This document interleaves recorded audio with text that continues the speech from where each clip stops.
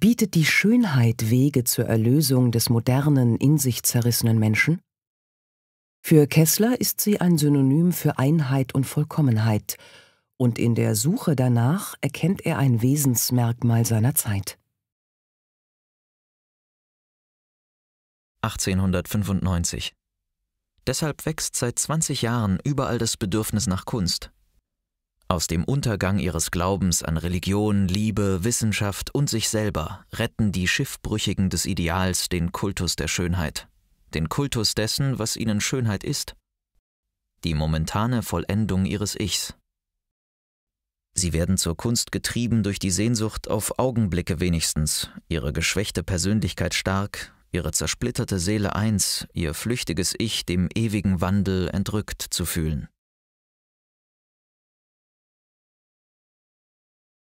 Paris, Köln, 10. Dezember 1908.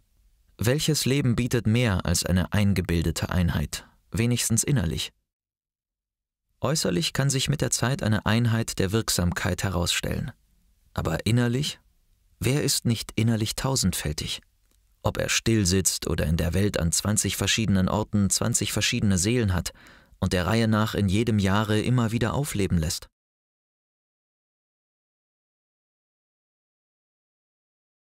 Rodaun, 24. März 1907. Für die Älteren war die Seele eine ziemlich klar begrenzte Einheit innerhalb eines Körpers. Für uns ist sie eine unaussprechlich vielfache Vielheit, die ohne scharfe Grenzen in die Atmosphäre übergeht. Daher das Bedürfnis nach ganz neuen künstlerischen Mitteln, um moderne psychologische Konzeptionen auszudrücken.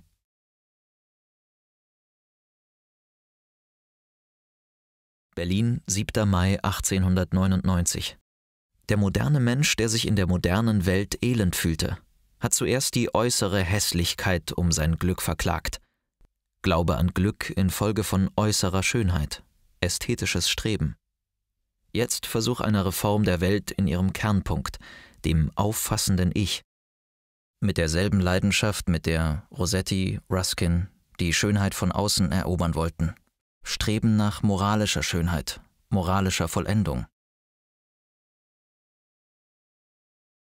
Braucht das moderne Zeitalter zu seiner Bewältigung einen neuen Menschen von neuer innerer Schönheit? Diese Frage bewegt Kessler in seinen Tagebüchern. 30. März 1920, Brissago.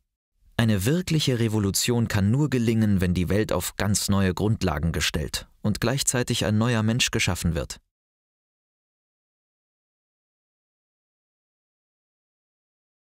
Berlin, 10. März 1906. Man empfindet, dass der Mensch, das heißt der große Mensch, doch mehr ist als alles, was er aus sich hinausstellen, produzieren kann, größer auch als die Kunst. Das Endziel ist doch schließlich der große, starke Mensch, nicht das große Werk.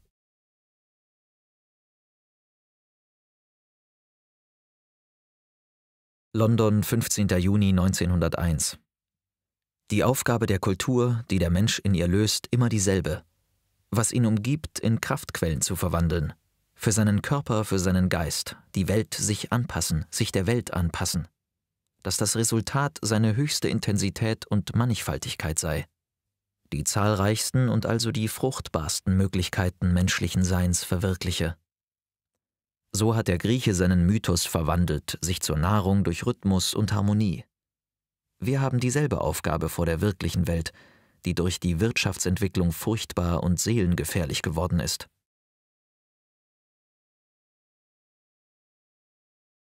Auf seiner Suche nach innerer Klarheit und Vollkommenheit begegnet Kessler der Antike und Japan. Palermo, September the 29th, 1890. No people has ever had such a consummate sense of harmony as the Greeks.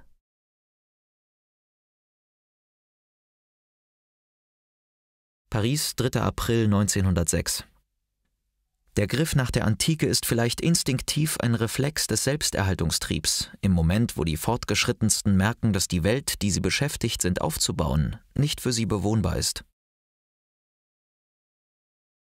Athen, 1. Mai 1908. Was denn für uns das Konkrete sei, worum wir Griechenland liebten, Mayol, mais c'est très simple. J'ai vu l'acropole où sont ces figures de l'Erechtheion qui sont les plus belles statues qui existent. Ich, das Griechentum, repräsentiere für mich eine Weltanschauung, in der alle Gefühle und Gedanken Platz hätten, nichts verbannt und ausgeschlossen sei. Es sei so die umfassendste und freiste Weltanschauung. Hofmannsthal, er oder Goethe oder ich, wir sehnten uns alle nach irgendeiner Form der Gesellschaft, die freier, leichter, reicher an Schönheit sei als die unsrige.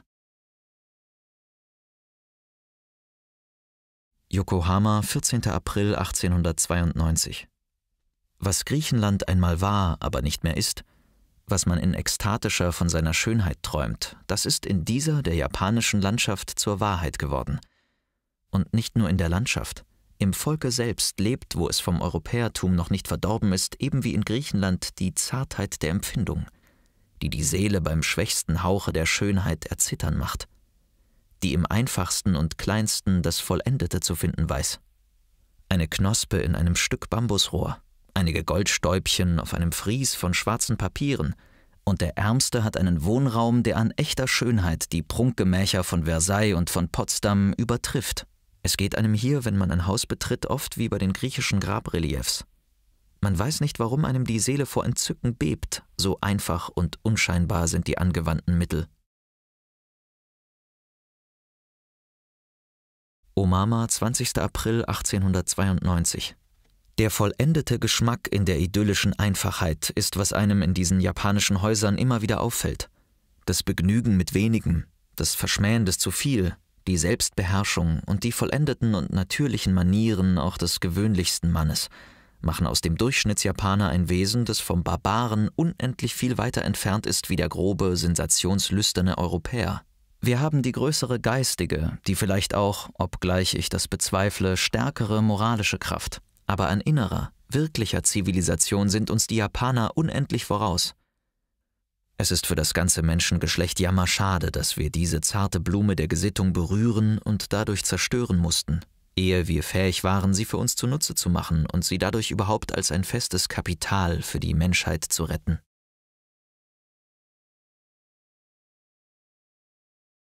Immer wieder betont Kessler die Nähe der Natur und der Klassik zur Seele des Menschen. Berlin, 7. März 1901 ich frage ihn, wie er van der Velde dazu gekommen sei, vor dem Meer zu studieren. Er antwortet, die Rhythme inédits des Meeres hätten ihn angezogen. Alle Symbolik, alle Bedeutungen des Lebens habe er in den Wellen und Rhythmen des Meeres gesucht. Außerdem habe Japan, die japanische Linienrhythmik, auf ihn gewirkt. Jedenfalls glaube er, dass Schönheit unter jeder Regierungsform möglich sei und dass jeder individuell den Kampf gegen die Hässlichkeit aufnehmen sollte dann würde man schon etwas erreichen.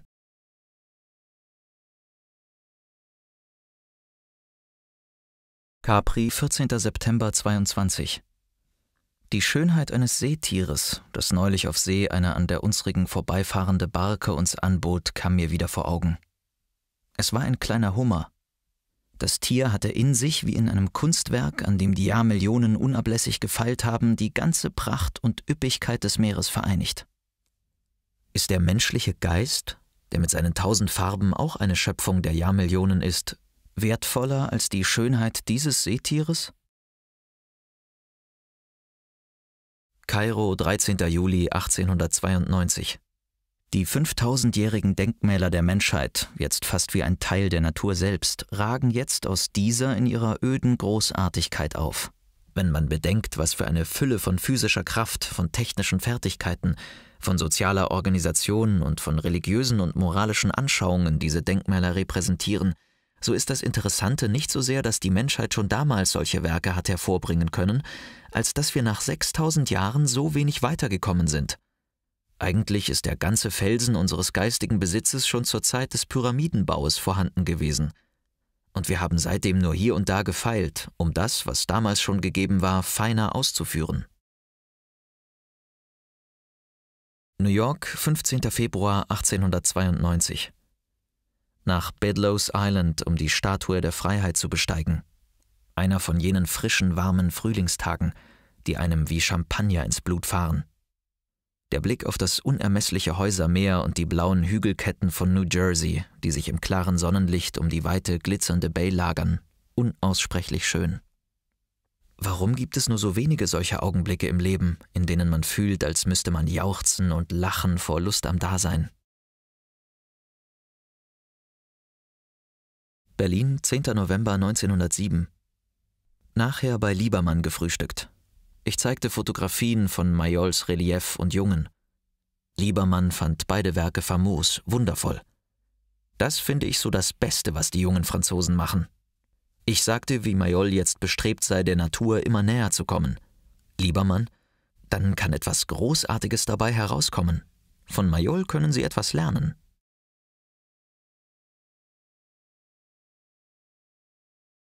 Paris, 10. Juni 1907. Er, Mayol, ist jemand außerhalb unserer Zivilisation, von ihr unberührt wie Adam im Paradies. 25. März 1919, Berlin. Die bewegte Welt braucht klassische Naturen.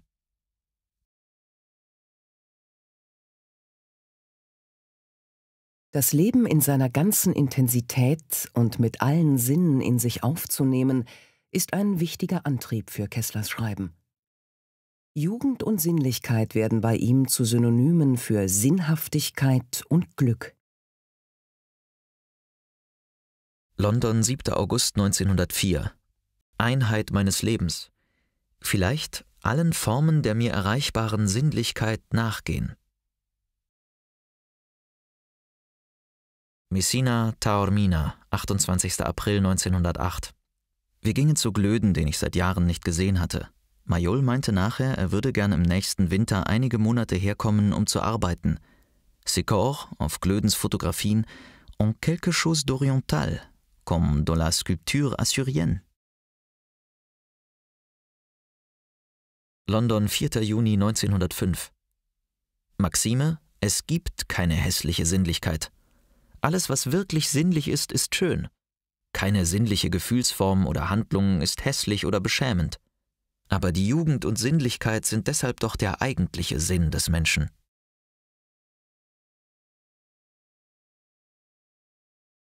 Paris, 27. Juni 1924. Abends Le Train Bleu von Cocteau und Darius Milhaud. Beides märchenhafte Umformungen des ganz modernen Lebens. Sehr bemerkenswert scheint mir, dass die Kunst wieder Mut bekommt zur männlichen Schönheit, namentlich zu der des Körpers von Knaben und jungen Männern. Vielleicht ist die weibliche Schönheit in der Kunst zeitweilig erschöpft, sind neue Formen der weiblichen Schönheit nicht mehr möglich und wendet sich die Kunst daher instinktiv der seit 2000 Jahren brachliegenden Schönheit des männlich schönen Knabenkörpers zu.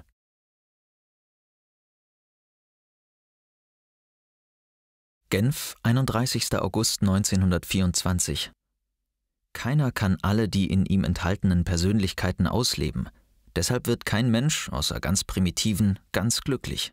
Polypsychie des Menschen? Nicht, dass er viele Seelen hat, sondern dass er viele verschiedene Seelen haben könnte. Dass so viele ungeborene, nie zur Gestalt erwachsende Persönlichkeiten in ihm embryonal liegen, ist seine Tragikkomödie. Daher nur der junge Mensch rein weil die vielen verschiedenen Schicksale noch alle ungetrübt in die Zukunft sehen und hoffen dürfen. Florenz, 1. August 1898 Wie sicher weiß ich, dass ich zu dieser Erde gehöre, dass mein Staub einst in Zweige und Blüten emporwachsen und die stille majestätische Reise durch die Ewigkeit fortsetzen wird. Die Sterne werden in ungezählten Jahrtausenden herabblicken, und auch ich werde noch ein Teil des Alls sein, klein, aber ewig wie Gott. Und auch ich habe das Glück gekannt. Berlin, 25. März 1896. Die Schönheit ruht wie das Glück in uns selber.